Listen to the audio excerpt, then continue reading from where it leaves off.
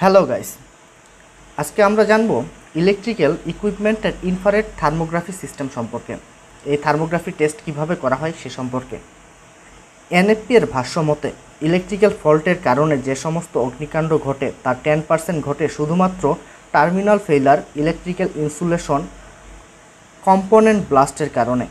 NFPA seventy E এর standard for electrical safety in the workplace এর article একশো তিরিশের মধ্যে আর্ক ফ্লাশ সম্ভাবনার উপর ভিত্তি করে প্রয়োজনীয় সুরক্ষা স্তরের বিশদ বর্ণনা করা হয়েছে।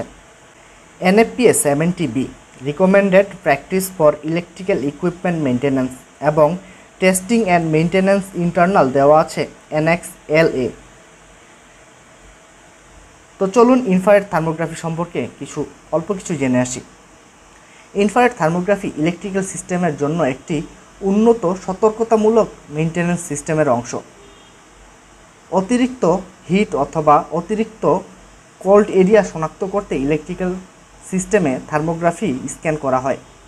ইলেকট্রিক্যাল অথবা ইলেকট্রনিক সিস্টেমের এলিমেন্টগুলো বয়সের সাথে সাথে এদের কর্মদক্ষতা হ্রাস পায়, ফলে উচ্চ- উচ্চ তাপমাত্রা তৈরি করে। এতে ইকুইপমেন্টের ভিতরে অগ্নিকাণ্ডের ঘটনা ঘটতে পারে।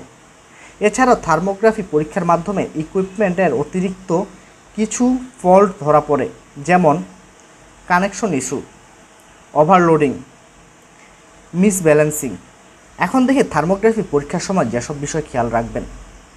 Number one insulation number two vibration number three chemical contamination number four corrosion number five fatigue number six expansion and contraction associate with load and temperature changes faulty assembly number 7 number 8 installation with lower conductivity চলুন দেখি electrical সিস্টেমের কী কী ইকুইপমেন্টে thermography টেস্টিংয়ের প্রয়োজন হয় number one step up or step down power transformer number two power transformer circuit such as switchgear and relays number 3 modified electrical panel power control box and sub panels number 4 aluminum wiring number 5 motor stator circuit number 6 high torque and heavy current draw motor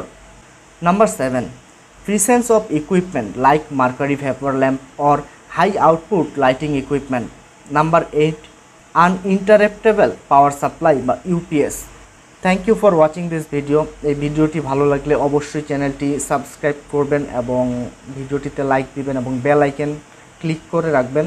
আগামী ভিডিওতে আমরা জানব electrical panel board কীভাবে thermography test করা হয়।